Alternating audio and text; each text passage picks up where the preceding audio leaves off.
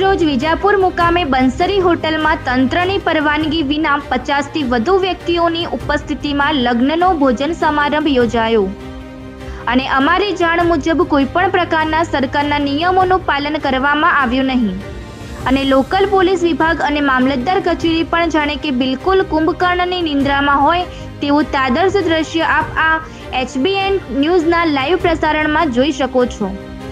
અને સ્થાનિક તંત્ર જાણે છે કે જાહેર જનતાના આરોગ્ય સામે ખિલવાડ કરતું નજરે પડે છે. શું આ છે જનતાને જીવાદોરીની ગુજરાત મોડલની વાતો?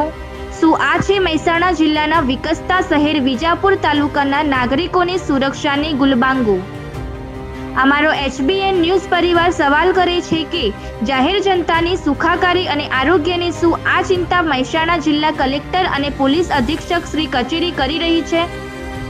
જનતાના અવાજને દબાવવાનો પ્રયાસ વિજાપુર તાલુકા મામલતદાર કચેરી અને વિજાપુર તાલુકા પોલીસ વિભાગ કરી રહી છે.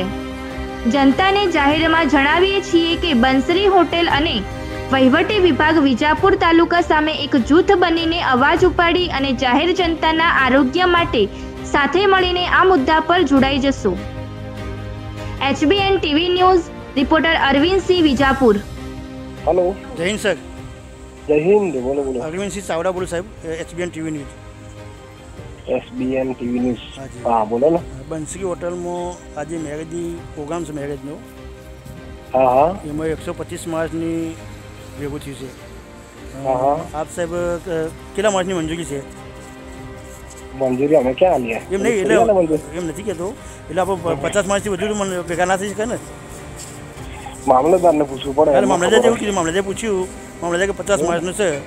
એટલે મેં સાહેબનું લાવો તમને પણ પૂછી લઉં. કે સાહેબને ક્યાં ખ્યાલ હોય તો. બરોબર? કારણ કે ના મંજૂરી એ લોકો આપે ને એટલે એમને ખબર પડે. એટલે પચાસ માર્ચની મંજૂરી છે મામલતદારને પૂછ્યું. બરોબર? પચાસ હમ. કીધું. તો અહીં એકસો વીસ માર્ચ ભેગું થયું છે. પચાસ સાઠ ટકા જેવા. માર્ક્સ માર્ક્સ વગરના છે સર હું વીડિયો મોકલું આપને? ઓકે ઓકે સર મામલતદાર સાહેબને જાણ કરો હોટલ બોટલ સીલ કરો કે? અરે ખબર મામલતદાર ચલો.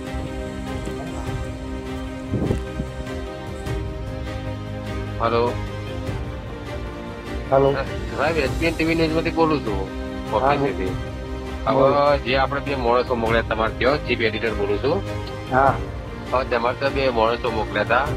આપણે જે ત્યાં લગ્ન વિશે બરાબર? હવે તમારે ત્યાં મોકલ્યા? એટલે તમે કહો પીઆઈ ને જાણ કરો. હવે પીઆઈ કે મામલતદાર ને જાણ કરે. તો પછી જાણ ક્યાં કરવાની?